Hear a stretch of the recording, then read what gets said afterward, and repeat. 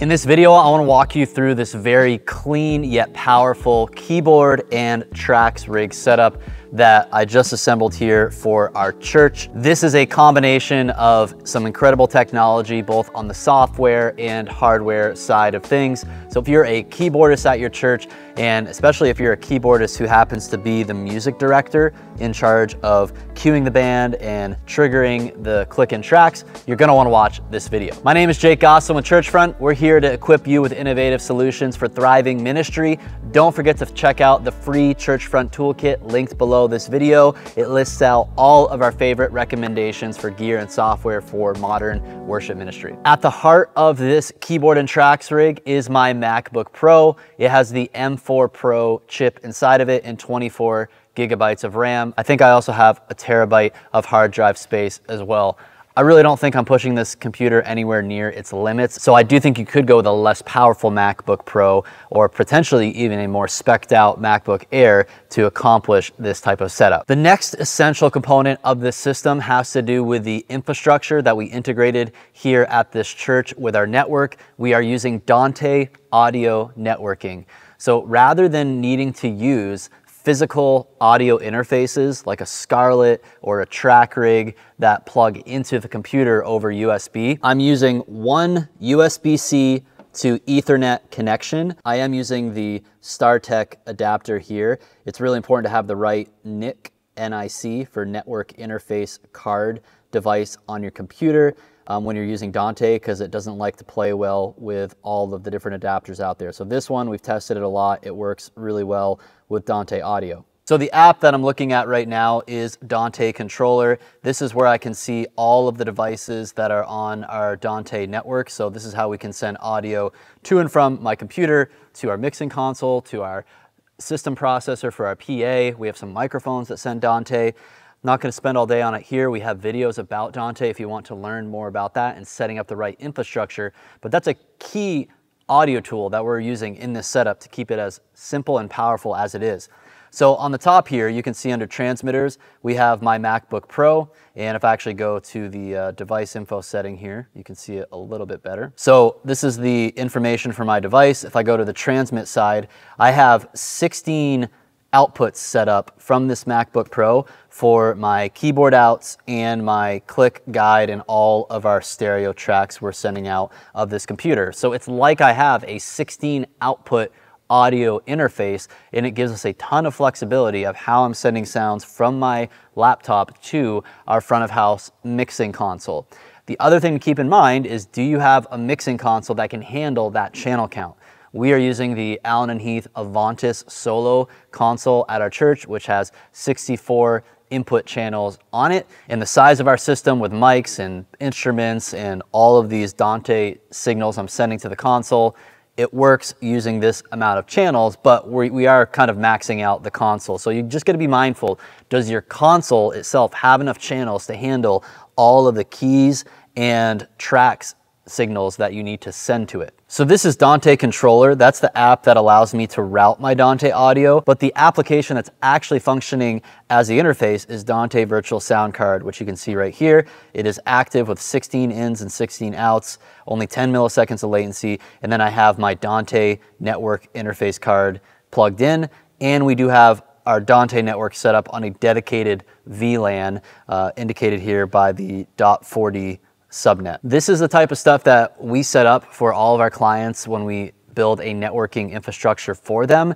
And hopefully you can begin to see if you have the right integration, especially of a network infrastructure, it can really empower you, the musicians in your band. A lot of you might think networking has nothing to do with music, has a whole lot to do with music today with modern AV. So when I bring my laptop, which is gonna have my keys and track software on it, I set it down, I plug in the networking cable, I plug in USB for the keyboard, and then I plug in power and it's ready to rock. I'm not having to fiddle with a physical hardware audio interface. And by the way, if you're a Churchfront Premium member, you can access our Networking 101 course to really help you understand the fundamentals of this to begin setting up a system like this at your church. So now I can play audio from my keyboard and then I'll pull up my keys channels on the console right here. And now you could see The audio is coming into the keys channel. If I go to my preamp, it's using IO port, which is the Dante card at the Avantis, and it's pulling that audio into these sockets on the console. Now let's talk about how I'm creating keyboard sounds. The keyboard I'm using here is the SL88 by Studio Logic. It's a really great quality, great value MIDI keyboard with weighted keys. I just like the simplicity of the build. I actually like how it's magnetic on top too, because when I set my iPad here, it actually sticks to the top of the keyboard itself. So the Studio Logic MIDI keyboard has a USB connection from the back of the keyboard into a dongle. I just use some uh, dual lock underneath the computer here. I have a USB-C adapter and it makes that USB connection. And now this keyboard is controlling the Sunday Sounds Sunday Keys app. It's a very powerful app, runs on Mac and iPad.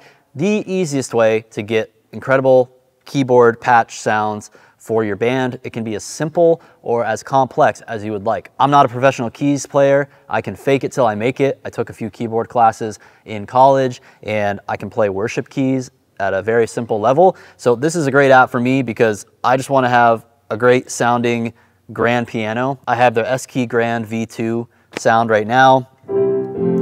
Sounds great to me for what I need for playing the set this week at church. If I wanted to though, I could add in other things like pads. other like synth leads. There's all sorts of patches and things that you can load into this software. Again, very powerful, but I recommend if you're using it for the first time, just use it as a nice, uh, simple piano interface.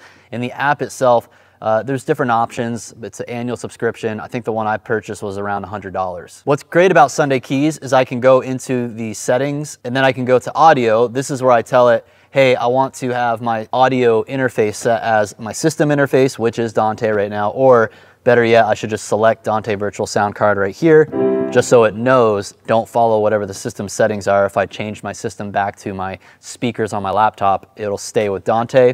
Uh, I can also adjust the buffer size. It's working fine at 128 to have low latency. Then when I go to the flex routing page right here, I can actually route the outputs of Sunday Keys to outputs on my Dante virtual sound card. So you can actually see I've got up to uh, 10 that I can use right now. If I upgrade my license of Sunday Keys to a more pro level, I could have 16 outs coming from my keyboard rig. For some of you, you might like that. For me, completely overkill. Here in our setup, uh, we dedicated two stereo channels at our console for keys one and keys two. So if we wanna have keys separated from the pad sounds that are coming from Sunday keys, I could do that. So the piano sound would be output one and two. The pad, I could go in here and I could select three and four if I wanna do that. I'm not a piano player. I'm gonna cheat. I'm gonna use the pad sounds coming from Playback app, which you'll see in a moment. And that is how we are creating keyboard sounds and integrating them into our sound system. Next up, we have the Playback app by Multitracks. You guys probably heard about this before. It's a very popular app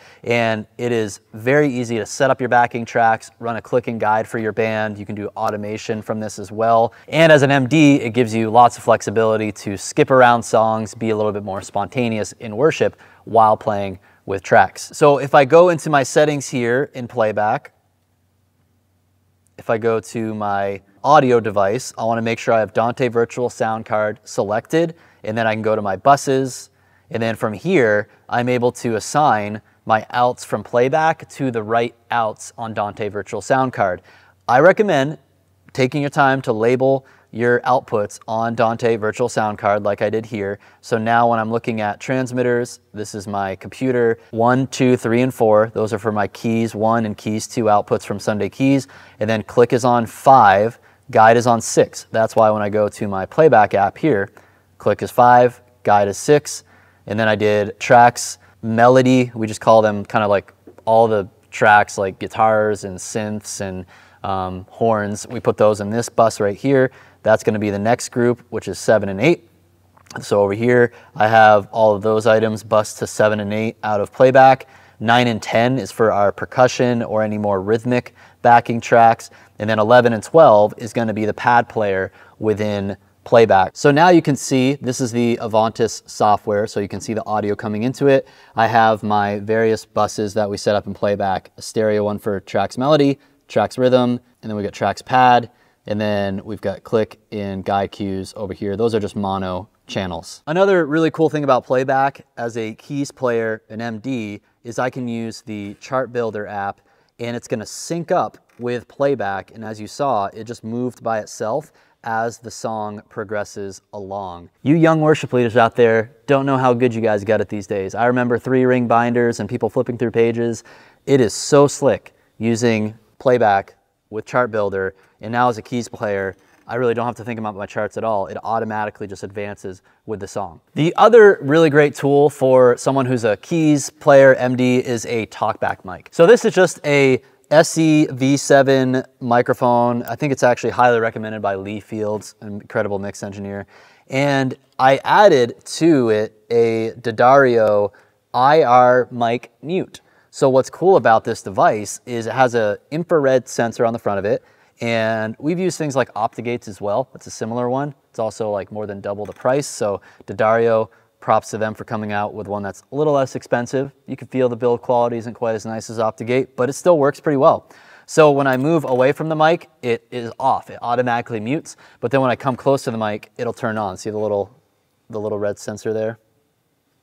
And that's important just because you want your band members to like really hear your talkback mic, but when you're not talking, you want it to be muted um, so they're not getting a bunch of bleed from sound from the stage. Fortunately, we've got a good drum enclosure, um, but especially for those of you, if you didn't have a drum enclosure and you want a talkback mic, you really need a auto mic mute like this that'll clean up everybody's in-ear mixes. Which brings me to another significant part of this setup is the in-ear monitor solution. So at this church, we're using Allen and Heath mixing and we have the ME-U and the ME1 personal mixers. So we can have up to 10 of these things on stage. We've got six of them right now, which generally covers all of our backline musicians. This is a very powerful personal mixer. So now I actually have all of my mix groups set up here. This is what it's like for everybody's mixer so they can easily go into a group of things and turn up or down individual instruments. And then down here, I can actually set up my own keys as a keyboard player um, if I want to have quick access to my keyboard, my talkback mic, and maybe the click track. That's how I configured it for me right here. So these sound incredible so long as your audio is captured and processed uh, well at the mixing console. It's one data connection powered over uh, ethernet from the MEU. And then I have a headphone extender here that goes into my in-ear monitor headphones. Finally, my favorite thing about this setup is how clean it is. If you do some simple cable management with some dual lock Velcro or you've got some zip ties, you can make sure all the cables look great coming down from the piano to your computer and then back to your other IO that you might have on stage for audio and networking and it just really cleans up the rig. As a keys player, I don't feel like I have a bunch of stuff in front of me uh, or in my way. It's convenient having a laptop stand here for my laptop to access that uh, with good ergonomics. Hope you enjoyed this walkthrough and you can take away a tip or two to improve the setup at your church. Let me know what questions you have down below. Like I said, I'm gonna list out my favorite devices here in the Churchfront Toolkit. It's gonna be on its own dedicated page for keyboards and tracks rig. So it'll be one convenient place for you to access this information at churchfront.com. Just click that toolkit link down below this video. Thank you for watching. Share this video with a friend in your ministry if you think they'll find it helpful, and we'll see you guys next time.